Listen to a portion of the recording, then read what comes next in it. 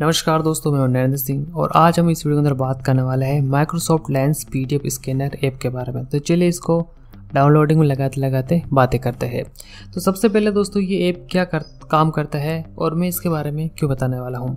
For example आपके पास कोई पुराना डॉक्यूमेंट है, कोई फ़ोटो है, या फिर कुछ भी ऐसी चीज़ है जिसको आप PDF में बनाना चाहते हैं या ऑनलाइन सेव करना चाहते हैं वन ड्राइव अकाउंट में या नोट वन के अकाउंट में तो ये ऐप आपकी मदद करेगा।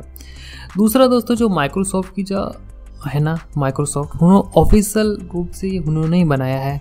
ऐसे नहीं है कि किसी और ने बनाया है। तो ये माइक्रोसॉफ्ट का ऑफिशियल ऐप है तो आप इस पर ट्रस्ट कर सकते हैं। जिससे कि आपको पता है, जब चाइनीज़ ऐप बंद हो गए थे तो इंडिया में बहुत सारे ऐप आ गए, लेकिन आप उनको ट्रस्ट नहीं कर सकते हैं, और उनके अंदर बक्स भी बहुत है। तो ये उन्होंने ऑफिशियल रूप से बनाया है, और इसको मैं इस वीडियो के अंदर इस्तेमाल करके दिखाऊँगा, पूरे ट्यूटोरियल बताऊँगा, और डॉक्यूमेंट स्कैन वगैरह सब करके दिखाऊँगा कि ये छोटा सा ऐप क्या क्या कर सकता है। आपकी ज़िंदगी को यकीन मैंने दोस्तों, ये बहुत ही सरल कर सकता है। तो जब तक इंस्टॉल होता है दोस्तों। हम थोड़ा सा वेट कर लेते हैं। तो चलिए दोस्तों, ये जो ऐप है डाउनलोडिंग हो चुका है और इंस्टॉलिंग हो रहा है, उन पचास एम का है। तो मैं आपको पूरी पूरी जानकारी इस वीडियो में बताने वाला हूँ। ठीक है? तो चलिए ये ओपन करते हैं इसको। जैसे आप इसे ओपन करेंगे, ये आपसे कुछ परमिशन मांगेगा, जिसको आपको दे देना है। उसके बाद में ये लिखा हुआ आ रहा है स्टार्ट स्कैनिंग इस पर क्लिक करिए। और नेक्स्ट करिए। ये आप यहाँ पर दो ऑप्शन पूछ रहा आ रहा है कि आपका डाटा सेंड करना है या नहीं। तो ये आपकी इच्छा पर निर्भर है। तो मैं, अगर आप नो करेंगे तो ये एक बार और पूछेगा। तो हम डोंट करते हैं, लेकिन एक बार और पूछेगा ये। सबसे पहले हम इसको अलाउ कर लेते हैं। तो सबसे पहले दोस्तों देखिए, यहाँ पर ऑप्शन आ रहा है वाइट बोर्ड का, ठीक है? वाइट बोर्ड पे आप जैसे जाएँगे तो स्कूल के अंदर अगर कोई अध्यापक वगैरह है तो उसने अगर कुछ आपके ब्लैक बोर्ड पर कुछ लिखा है और आप उसको फ़ोटो खींचना चाहते हैं उसको पी बनाना चाहते हो वाइट बोर्ड पर आ जाइए, जैसे कि मैं आपको बताता हूँ, ये कुछ लिख रखा है। तो आप डायरेक्ट इस पर कर लीजिए और उसके बाद में जितना आप रखना चाहते हो, उतना रख सकते हैं और कंफर्म कर सकते हैं। कंफर्म करने के बाद में डन पे कर लीजिए। डन पे करने बाद करने के बाद में देखिए, ये ऐसा ऑप्शन आ जाएगा, अगर आपने नो किया होगा तो वापस नेक्स्ट करिए। डाउनलोड कर लीजिए। अभी नहीं आएगा, ठीक है? तो यहाँ पर ऑप्शन आएगा दोस्तों, फ़ोटोज़ के अंदर करना है या पीडीएफ के अंदर? तो आपकी इच्छा हो तो पीडीएफ के अंदर करो, आपकी इच्छा तो फ़ोटो के अंदर। तो हम कर देते हैं पीडीएफ या फ़ोटो, दोनों कर लेते और सेव कर लेते हैं, ठीक है? सेव करने बाद में दोस्तों थोड़ा सा वक्त लेगा और ये आप देख रहे हैं ना वेटिंग फॉर ये आपके पीडीएफ के लिए वेटिंग हो रहा है, ठीक है? तो ये देखो पीडीएफ में हो गया। अब जैसे आप क्लिक करोगे, ये पीडीएफ में कन्वर्ट कर देगा।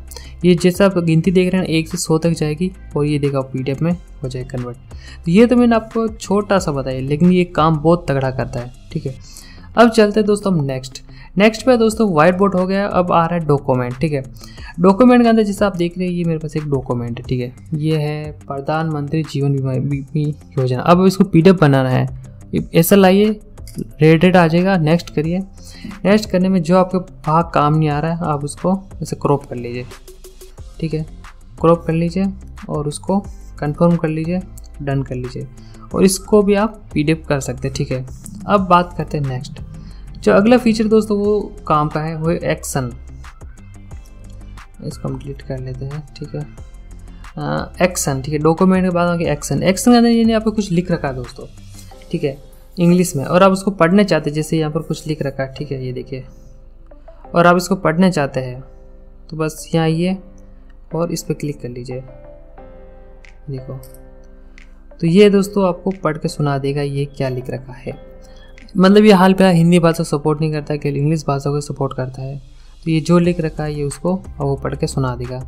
इसको देखो, जो जो लिख रखा है, नहीं सॉरी दोस्तों, ये पढ़ के नहीं सुनेगा, ये इसको जैसे आपके लिख रखा है ना, उसको ये टेक्स्ट में कन्वर्ट कर देगा। यहाँ से आप कॉपी कर सकते हैं और कहीं भी पेस्ट कर सकते हैं, ठीक है?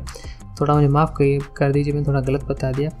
उसके बाद में आता तो ये जो फ़र्स्ट वाला ऑप्शन दोस्तों ये आपके कोई भी टेक्स्ट होगा इंग्लिश हिंदी को सपोर्ट नहीं करता तो उसको ये डिजिटल में डिजिटल टेक्स्ट में कन्वर्ट कर देगा। उसके बाद आता टेबल टेबल के अंदर दोस्तों ये है, जैसे आप देख रहे ये टेबल है। ये हिंदी की टेबल है, ये सर तो हिंदी के करके देखते हैं। हिंदी के काम नहीं करेगा दोस्तों, मुझे इंग्लिश की टेबल चाहिए, एक मिनट। जैसे कि ये मेरे पास टेबल ठीक है। मैं ऐसी कैसी टेबल बनाना चाहता हूँ अपने मोबाइल के अंदर, ठीक है, जैसे ये इतनी बड़ी टेबल है, ठीक है। तो एक मिनट रुकिए। तो अब देखिए, इसको हम से कर देते हैं। ये ऐसी कैसी टेबल हमें बना के दे देगा। जो आप मतलब कैसे भी टेबल आपके इंग्लिश की जो जैसे जो इंग्लिश में लिखे रखा टेक्स्ट ही, वैसे ही वैसे टेबल आपके क्रिएट करके दे देगा। बस आपका जो इंटरनेट कनेक्शन वो ऑन रहना चाहिए। तो देखो ये, जैसी भी इसे बनी, वैसे बना के दे दी इसने, देखो देखो नेम डेट वगैरह सब आ गए ना। तो ये टेबल बनाने के लिए, ठीक है। उसके बाद में आता है दोस्तों रीड अगर आपको कुछ, जैसे हाँ इंग्लिश में लिखा हुआ ठीक है। ये देखो। और उसको पढ़ना चाहते हैं तो उस पर धुंधला आ गया दोस्तों एक मिनट हिल गया हवा आ गई। हवा आ गई दोस्तों एक मिनट। ठीक है कर लीजिए और उसके बाद में इतना इस, इस, इसको इतना रख लीजिए ठीक है। और कंटिन्यू कर लीजिए। तो ये दोस्तों इसको पढ़ के सुना देगा लेकिन अभी ये इसमें दोस्तों मैंने एक बात देखा है कि इतना ढंग से नहीं पढ़ सकता रीडिंग टेस्ट का मतलब अंदर ही ढंग से नहीं पढ़ सकता है। लेकिन जैसे ये पढ़ेगा वैसे आपको बता देगा देखो कैसा बना के दिया इसने।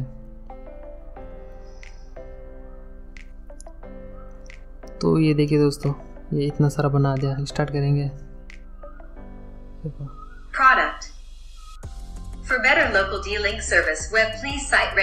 तो ये आपको पढ़ने के लिए ये दोस्तों कॉन्टेक्ट यानी कि अगर आपका कोई कॉन्टेक्ट कार्ड है तो आप इसके अंदर सेव कर सकते जैसे मैं आपको बताता हूँ मेरे फ़ोन के अंदर।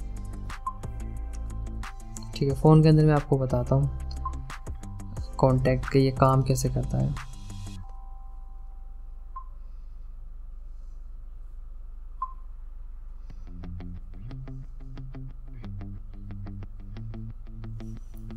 जैसे दोस्तों, यहाँ पर कुछ लिख रखा है, नाम और नंबर। अगर आपका कोई कार्ड वगैरह हो या कुछ भी ऐसा नाम नंबर हो, ऊपर आकर ऐसे कर लीजिए। तो उसमें से ये नाम और नंबर और सबकी छटनी कर लेगा, ऑफ़िस वगैरह का। यानी अगर कोई कॉन्टैक्ट कार्ड नहीं मेरे पास, अगर कार्ड होता तो मैं आपको अच्छी तरह समझा पाता, ठीक है? तो हाल पर ये बता नहीं पाया। लेकिन इसके अंदर दोस्तों आप कॉन्टैक्ट का नाम वगैरह पता लगा सकते हैं। उसके अलावा दोस्त आते क्वायर अगर आपको कुछ क्वायरेट है तो आप यहाँ से डायरेक्ट कर सकते हैं। कोई अदर ऐप की आपको आवश्यकता नहीं है, ठीक है?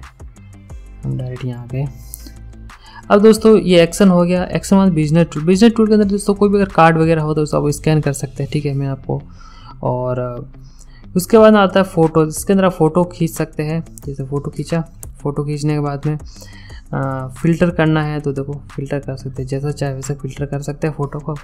और फ़िल्टर के बाद में क्रॉप करना है तो फ़ोटो को भी ऐसे क्रॉप वगैरह कर सकते हैं। डॉक्यूमेंट को भी कर सकते हैं इसको भी क्रॉप सकते हैं सबको कर सकते हैं।